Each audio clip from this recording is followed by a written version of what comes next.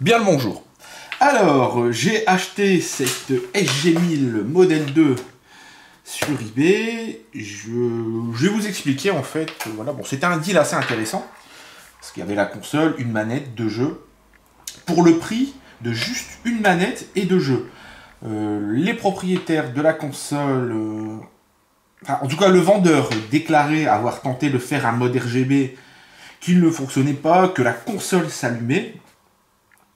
Je vais vous expliquer d'abord ce que j'ai fait dessus et ce que je vais en faire. Bon, d'avance, vous, allez râler, vous aurez sans doute raison. Après, qui a raison, qui a tort euh, Ouais, est-ce que je peux le dire? Ouais, je m'en fous, voilà. Vous pouvez crier très fort. Ce matériel, je l'ai acheté, je peux en faire ce que je veux. Et puis, voilà, je suis euh, majeur et vacciné. Ceci étant dit, pardonnez-moi, je sors de table et j'ai encore un peu... Euh, voilà, des morceaux de salade dans les dents. Qu'est-ce qui se passe avec cette console quand on l'allume? Alors tout d'abord, première fois où je l'ai allumée, c'est faux, hein, la console ne s'allumait pas. Pourquoi? Parce qu'ils avaient grillé le transistor qui gère la puissance, fameux régulateur de tension positif, El Famoso 7805. Je l'ai remplacé, la console s'allumait, l'ordinateur me faisait un sourire, il me disait bonjour, mais ça, ça, ça s'arrêtait là. Donc j'ai regardé à l'intérieur. Tout d'abord, euh, ils ont percé des trous à l'arrière du boîtier, je vous montrerai ça après. Ils ont retiré le, le modulateur antenne, le modulateur RF. Ils ont soulevé et bousillé plein de traces. Ce qui n'a aucun sens, parce qu'en fait, là où le mode RGB était censé passer, ils n'étaient même pas obligés de retirer le modulateur RF ou quoi machin. Et ils ont percé des trous à titre préventif sans que le mode fonctionne. Pourquoi je suis persuadé que le mode n'a jamais fonctionné? Parce que le mode nécessitait 4 transistors, un set de condensateurs et des résistants, je crois, des trucs comme ça, enfin bref. Or, sur leur mode, il n'y avait que 3 transistors, donc pour moi, ça ne marchait pas. Maintenant, voilà ce que j'ai essayé de faire pour tenter de la réparer. Tout d'abord, j'ai essayé de refaire leur câblage, parce qu'en fait, certains de leurs fils étaient soit dessoudés, soit pas soudés du tout, soit ils se baladaient un peu au pif dans la console. Sans succès. J'ai tenté un mode composite, sans succès. J'ai tenté de trouver un modulateur d'antenne compatible, en en dessoudant un dans une console qui était pin compatible avec ça. Sans succès. J'ai tenté à l'oscilloscope de regarder si le CPU était bon. Parce que dans la SG1000 Model 2, euh, nous avons un combo qui gère le CPU et la puce son sans succès. Il n'y a aucun signe de vie. Le seul truc qui marche, c'est que le courant arrive bien en 9 volts et il est converti en 5 volts. C'est tout ce qui marche. Donc, j'ai pris une décision. Il y en a deux, parce qu'il y en a une, il va falloir que je refasse un bouton pause. Je demanderai à quelqu'un qui a une imprimante 3D de me faire un petit bouton. Et la seconde, c'est étant donné que la manette fonctionne, c'est d'utiliser voilà, j'attendais que celui avec sa mobilette passe. Donc d'utiliser, mettre un Raspberry Pi dedans et de câbler la manette sur le GPIO. Mais j'ai pas envie de modifier la manette. Alors, euh, je vais chercher là maintenant, après, un connecteur DB9 que j'ai en secours. On va maintenant câbler cette manette sur le GPIO, vérifier que ça fonctionne, vous vérifiez comment, vous expliquez comment j'ai fait, et ensuite, je vais faire un mode le plus propre possible avec surtout le matériel que j'ai actuellement. À savoir que je n'ai rien de ce que j'ai besoin. Mais au moins on fera un truc. Un, temporaire. Deux, non destructif. Parce qu'en fait, je vais seulement utiliser les trucs qui sont à l'arrière à ma disposition. Je ne vais rien percer, je ne vais rien modifier sur le circuit imprimé.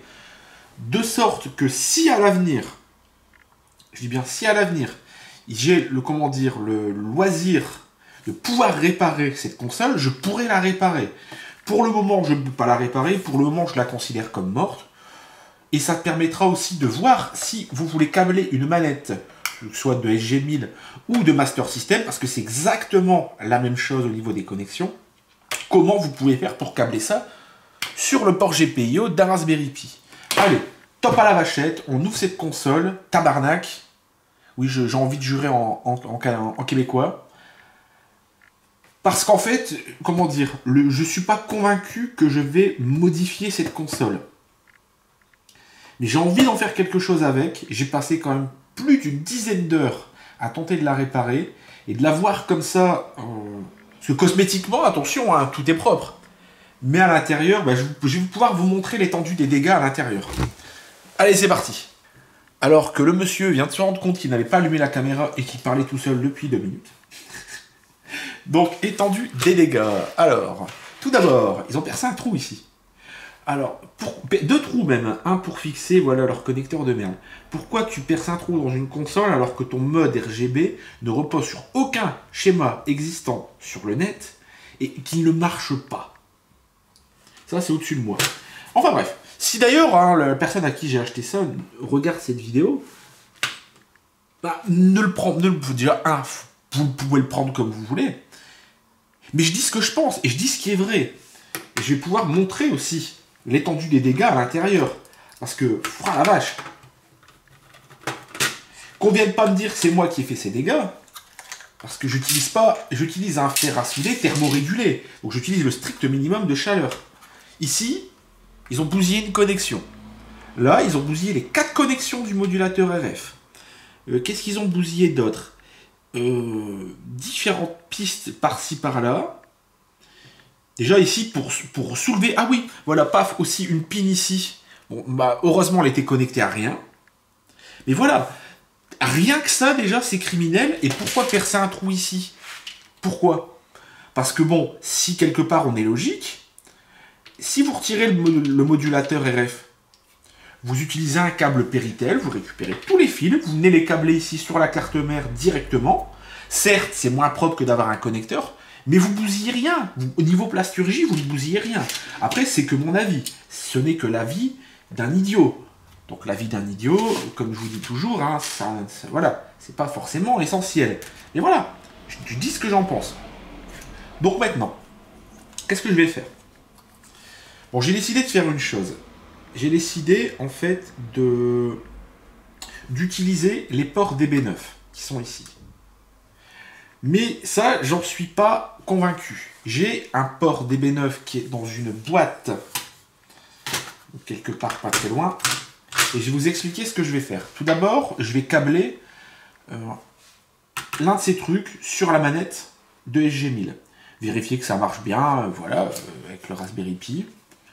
Il n'y a pas de raison, de toute façon, ce mode, je l'ai déjà fait, et je vais vous montrer après comment je l'ai fait. C'est ultra simple. C'est vraiment ultra simple. Surtout si vous allez le faire comme moi je l'ai fait, et vous pouvez à la limite faire ça avec une Master System, ça marche aussi bien et c'est ultra simple. Qu'est-ce que je vais faire d'autre? Câbler une LED pour que la. Comment dire Quand j'allume le Raspberry Pi, il y a la, El Famoso petite LED qui est devant qui marque Power On pour qu'on comprenne quand même que le truc est sous tension. Puis ça fera, voilà, ça, fera joli. Et je vais laisser surtout le PCB ici à l'intérieur. Pour gagner un peu de place, j'ai retiré une, deux, trois, quatre condensateurs. De toute façon, la console, elle est morte. Le, pour vous expliquer exactement, je ne sais pas, je l'avais dit dans la première partie, j'ai tenté de regarder même à l'oscilloscope, voir si le processeur réagissait. J'ai aucun signe de vie. Mais j'ai rien, rien, rien, rien. Donc je considère cette console comme étant morte. Et le mode que je vais faire sera 100% non destructif.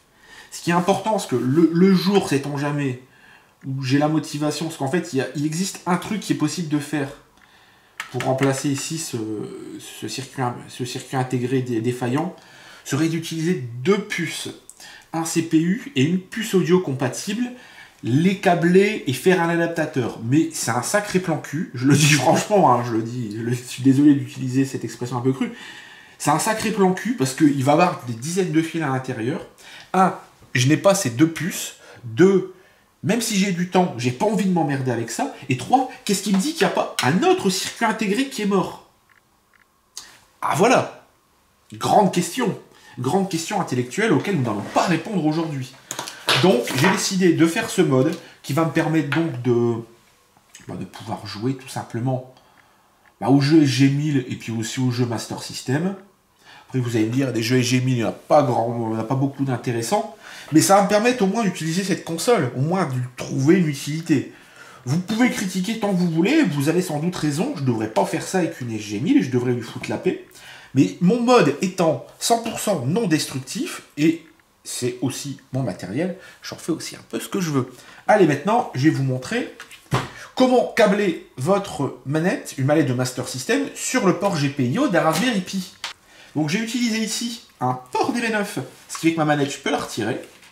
Ce qui fait que, comment dire, euh, quand j'aurai refait au propre mon machin ici, parce qu'en fait, je voulais utiliser un double Dupont. Connecteur Dupont, c'est ce genre de choses que vous pouvez en fait euh, brancher en fait. hop, voilà, je pense que vous voyez bien comme ça. Vous branchez par exemple ici, vous avez la broche du port GPIO du Raspberry Pi. Tac, vous venez brancher dessus, le contact est fait, vous n'avez rien à souder. Donc ça c'est très bien. Mais malheureusement, au lieu d'avoir des connecteurs femelle-femelle, j'avais des connecteurs que femelle vers mâle. Donc j'ai dû ici clipser et souder ici sur le Raspberry Pi. Donc j'ai commandé ce qu'il faut pour refaire ça au propre. Mais en attendant, ça fonctionne. Et j'ai même décidé de faire mieux. Euh, dans un premier temps, je vais le laisser comme ça. Et à l'avenir, ce que je vais faire, c'est utiliser ça à l'intérieur. Une rallonge de manette DB9. Ce qui fait que ici, tac, par exemple là, j'aurai mon câble de rallonge de manette qui va sortir et je pourrai changer de manette sans problème. Bon, j'ai décidé de câbler dans un premier temps qu'une manette parce que euh, pour la, il faut 7 fils euh, par manette. J'en ai que 4 pour la deuxième, mais j'aurais totalement pu câbler une seconde manette. Après, qu'est-ce que j'aurais pu. Une chose que j'aurais pu faire, c'est ici couper toutes les traces et câbler mes fils voilà, de mon, de mon port DB9, les câbler directement ici. Ça, je peux le faire. Mais le problème, c'est que j'ai envie de laisser cette console, j'ai envie de lui foutre un peu la paix. Après, je dis pas, peut-être à l'avenir, peut-être d'ici une semaine ou deux, ou un mois ou deux, je me serais fait une raison que cette console, elle est, elle est morte, et je me dirais, euh, bah écoute, euh, voilà, on va le faire. Donc, dans un premier temps, je pense que ça, c'est une bonne idée. Mais en tout cas, déjà, une chose que vous pouvez faire si vous voulez jouer avec une manette Master System ou même Mega Drive, hein. Mega Drive, vous avez deux boutons en plus à câbler. Hein. et c'est bon. Hein. Vous avez juste à câbler le bouton C et le bouton Start et voilà. Donc c'est pas compliqué, il suffit ensuite de regarder, une fois que vous avez bien câblé ici correctement. Donc en fait ce que j'ai fait, c'est j'ai pris en fait, j'ai ouvert la manette, j'ai vérifié sur chaque broche par exemple, voilà euh, broche euh, ici en haut à droite, euh, c'était la, la touche haut, la terre je crois qu'elle est ici. Donc j'ai bien vérifié que c'était bien les mêmes connexions que sur une mallette Master System. Je me suis fait un schéma pour tel fil que j'ai mis, telle couleur. Et puis ensuite, ben, j'ai regardé sur internet quelle broche, enfin c'est pas que j'ai regardé. Mon cousin m'a dit, cousin, broche numéro, attendez, 1, 2, 3, 4, 5, 6. Broche numéro 6 sur le GPIO, c'est la terre, et puis après ainsi de suite. Tu suis le truc, et voilà. Il y a juste après un fichier à modifier dans la config, par exemple le Recalbox. Donc il va falloir brancher votre Recalbox en réseau. Vous allez dans Share Système et je crois que vous avez un fichier qui s'appelle recalbox.conf. Vous avez juste un truc à bouger après pour faire en sorte que ça soit activé. Et ça fonctionne nickel. J'ai testé.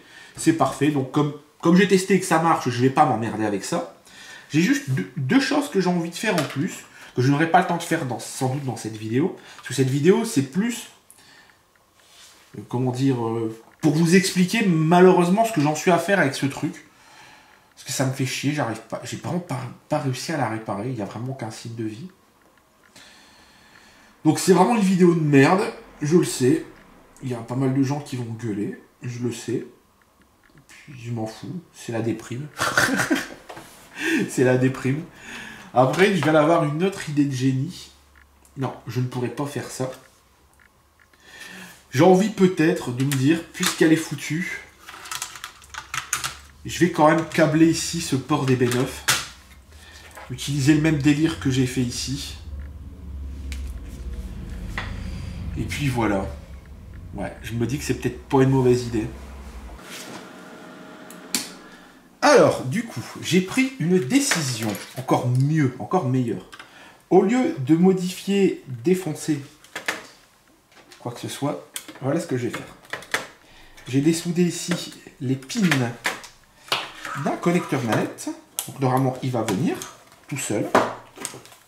Les pins sont libres, il y a juste le clip ici en plastique qui embête le monde. Voilà, hop, je l'ai eu. Et voilà ce que je vais faire. Je vais plier les broches, une par une. Je vais prendre une pince, voilà. Je vais les redresser. Et je vais câbler, en fait, mon truc, comme ça ici sur la manette. Et je n'ai rien cassé ici en dessous. J'ai rien cassé. Je n'ai levé aucune piste. Étant donné que j'ai les soudés proprement. Et comme à l'instant, je viens de recevoir mes connecteurs du pont et du pont, je vais pouvoir faire quelque chose de propre. Voilà. Et comme ça, la première partie de ce mode sera faite et j'aurai rien détruit. Voilà, voilà. Allez, je prépare mon connecteur, je plie toutes les broches. Et puis, on va faire ça. C'est y part.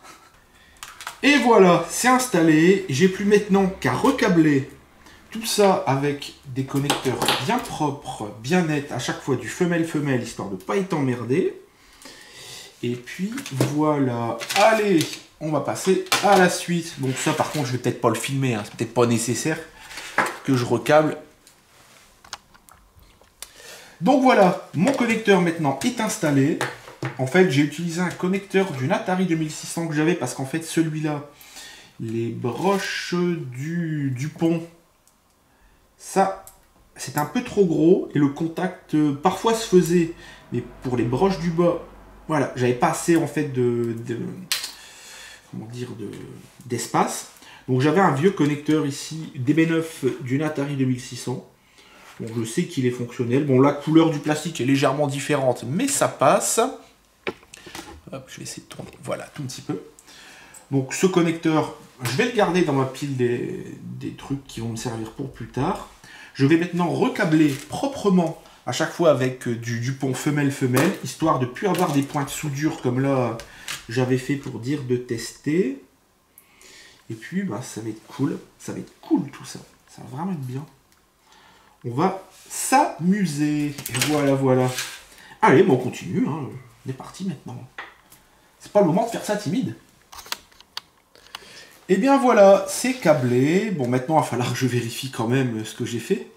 C'est de vérifier si j'ai pas fait trop de bêtises. Mais voilà, je pense que c'est plutôt bien, plutôt petit, plutôt bien.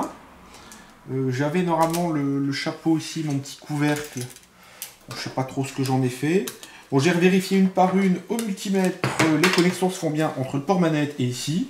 Ce qu'il y a de bien, c'est que, comme je vous ai dit, je n'ai absolument rien cassé. J'ai juste le voilà dessoudé proprement, euh, mis ça là et puis on est bien. Bon, je vais déjà, je pense, retester ça. Vérifier si tout va bien. Et si effectivement tout est toujours ok, mais je vois pas, à part vraiment si j'ai mal câblé un truc ici sur le GPIO, mais je pense avoir suivi plus ou moins ce que j'avais fait hier. Si je vois qu'il y a un fil qui n'est pas spécialement bien mis. Mais sinon, ça a l'air plutôt pas mal. Voilà, voilà. Bon, maintenant, il n'y a plus qu'à tester et aussi à passer à l'étape suivante qui est câbler une LED. Bon, câbler une LED, euh, je ne sais pas vraiment si je vais le faire devant la caméra. C'est peut-être pas forcément le truc le plus nécessaire. Allez, je range tout ça et je teste. Alors voilà, voilà, voilà. Donc le mode est terminé. Donc euh, Merci encore au cousin qui m'a donné des informations techniques qui m'ont permis de pouvoir terminer ce mode. J'ai même câblé une LED donc sur le GPIO du Raspberry Pi via une. Bah, j'ai utilisé une résistance de 220 ohms. Alors qu'est-ce qui se passe maintenant quand on branche? Hop, voilà Donc maintenant quand on branche la lime, ça s'allume, l'ordinateur me fait un sourire, il me dit bonjour. Donc, le temps que ça boot, parce qu'en fait, dedans, pour l'instant, j'ai temporairement mis un Raspberry Pi 1 que j'avais sous la main. La chose qui est stylée, c'est que pour brancher la manette, enfin, pour, euh, comment dire, euh, je peux brancher les manettes via le port, les ports de la console. J'ai câblé euh, joueur 1, joueur 2, ça fonctionne. Bon, là, j'ai pas envie de me faire chier à ressortir une manette de Master System pour vous montrer le joueur 2. Mais voilà. Je veux dire, ça marche. Et ce qu'il y a bien, c'est que bah, on peut interchanger la manette, on n'est pas obligé de passer dans le, voilà, euh, l'intérieur de la console, laisser le fil branché euh, directement à l'intérieur. J'ai rien bousillé niveau PCB. Ma carte, mon port cartouche, bon, il ne fonctionne pas, mais je peux toujours mettre voilà une cartouche pour le LOL. Il y a un truc que j'aimerais faire, mais c'est voilà, ce sera par le dans un futur euh, plutôt plus ou moins proche. Faut que je demande à une amie si elle peut me faire un petit bouton. Déjà, si elle a du filament jaune à l'imprimante 3D, si est-ce qu'elle peut me faire voilà un petit bouton. Je donnerai les dimensions. Voilà. euh, Même au pire, si, ce bouton est factice, que ça fasse voilà vraiment un look d'origine. Ce qu'il y a bien, c'est que la LED voilà fonctionne et que surtout la manette aussi. Parce que regardez, ça c'est le petit plus de la maison. Donc là, là on est sur le menu avec Albox, on appuie. Alors des fois, ça met un peu de temps, voilà, parce qu'en fait c'est un Raspberry Pi 1 et que du coup, donc on appuie au bas, on peut changer de jeu, on peut lancer le jeu. Donc paf, Et voilà le jus d'orange. Bon, désolé, j'étais obligé de recadrer un peu parce que voilà, j'avais un peu cadré ça comme un goré. Donc du coup, paf, j'appuie, ça fonctionne. Voilà, bouton 1, bouton 2, gauche, droite, haut, bas, tout, fonctionne. Bon, bien sûr, là, on joue à, Space Invaders. Montrer euh, gauche, euh, haut et bas, c'est un peu compliqué. Mais voilà, donc tout fonctionne. Je pense que je, devais, je referai ce mode probablement au propre avec un Raspberry Pi 0. Histoire de pas. On va essayer de. Non, non, je voulais, je voulais tellement l'avoir. Bon, c'est pas grave, je l'ai pas eu. je voulais tellement avoir le petit alien. Donc je pense que je pourrais. Je referai ce mode avec un Raspberry Pi 0 histoire d'avoir un, petit peu plus de peps. Pour citer euh, Monsieur Duquesne dans les, dans les déchiens. Et puis voilà, puis sur. Quoique, et encore. Par coquetterie peut-être. Bon, il y a une chose par contre que j'ai envie de faire. Attendez, je vais me recadrer la caméra. C'est derrière, en fait, voilà, pour l'instant, bon, j'ai un câble, j'ai un HDMI qui sort et puis euh, le câble micro SD, tout ça est câblé à l'intérieur de la console, ce qui est pas spécialement dramatique. Mais le truc, c'est que j'ai pas, je l'avais dit d'avance, je ne voulais pas abîmer la plasturgie de la console plus qu'elle ne l'avait été abîmée par son ancien propriétaire. Donc j'ai profité du trou qu'ils avaient, euh, voilà, euh, euh, percé dedans pour faire le mode, pour faire passer mes deux câbles dont j'avais besoin. Donc voilà. Après, euh, je sais plus qui en discutant me disait tu devrais mettre un petit bouton derrière, genre ici, pour euh, quand tu veux changer de jeu ou quoi. Bon, j'ai des dizaines, enfin pas des dizaines, mais des petits claviers comme ça, j'en ai plein. Ça coûte rien quand je veux, voilà, quand je veux quitter, je fais échappe. Et ça évite surtout d'appuyer euh, par, accident et surtout de repercer un trou derrière. Après, euh, j'aurais pu me dire que, comment dire, au lieu de percer un trou derrière, mettre ici un petit micro switch et le bouton pause, tac, quand tu appuies dessus, voilà, ça te permet de soit d'avoir une vraie pause, ou alors de. Et encore, je pense que la pause sert pas vraiment à grand chose. Donc, ouais, le mode dans, tel tel qu'il est là actuel, il est fonctionnel. Il est même plus qu'en fonctionnel, je suis même euh, assez content de ce que j'ai fait, même si au début de, je ne pensais pas laisser, comment dire, je voulais faire un mode en mode LOL, MDR, et puis après je retire tout ce qu'il y a dedans. En mode, vous avez vu, on peut modder un truc sans tout abîmer, et en plus c'est réversible.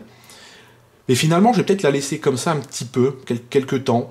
Et si je vois euh, dans un futur proche que ça m'ennuie, ben, je pourrais toujours virer ce qu'il y a dedans.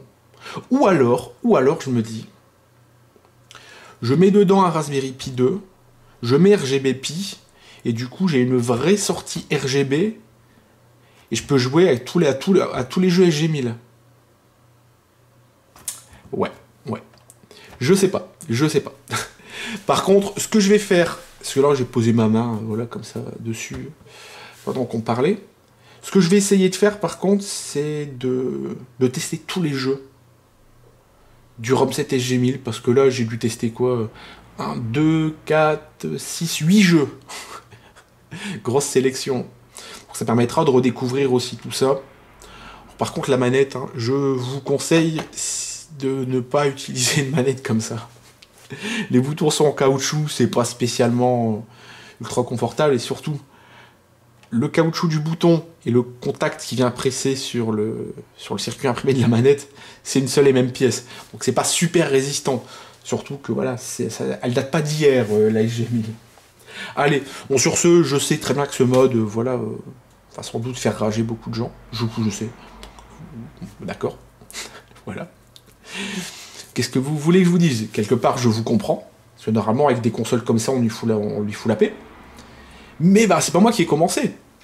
Si, la personne qui, avait commencé ce mode euh, bah, avait su s'arrêter et n'avait pas fait n'importe quoi, j'en aurais pas été obligé de faire ça avec. Voilà. Après, je dis, j'étais pas obligé aussi de faire ça avec cette console.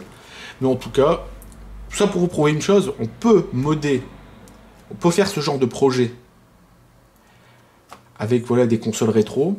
Euh, a fortiori euh, aussi avec une Master System, on peut faire une Master System euh, Raspberry Pi en modant voilà les genres, les ports manettes, tu branches ta, ta manette de Master System, tout ça, sans avoir à bousiller quoi que ce soit. Et ça, je pense que c'est beau. Ça, je pense que ça peut être aussi quelque chose, des, petits projets comme ça qui peuvent être intéressants. Bon, allez, sur ce, je vais arrêter de m'excuser sur le fait que j'ai fait ce mode. C'est fait, c'est fait. Je vous fais donc des bisous. On se reverra très bientôt pour une vidéo moins controversée. Et je viens de recevoir un email. Je vous laisse des bisous et à bientôt.